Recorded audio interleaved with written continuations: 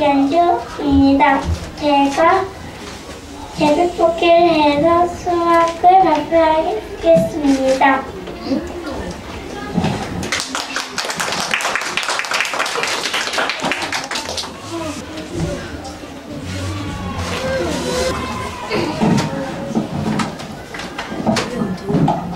제비뽑기를 했는데 도형이 나왔습니다. 도형에 있는 직각삼각형을 발표해 보겠습니다. 직각삼각형은 각이 세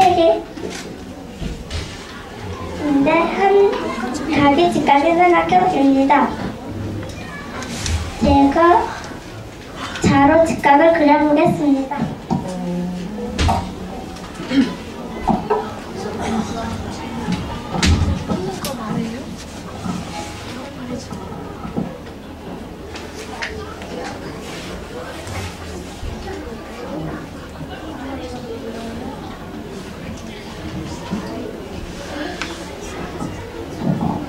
먼저 자를 대고 밑변을 그립니다.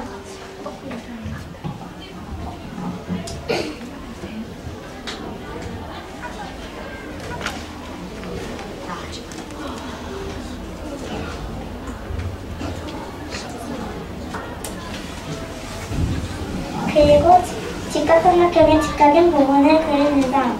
그리고 마지막으로 만들어진 저 직선으로 끝부분을 그려보겠습니다.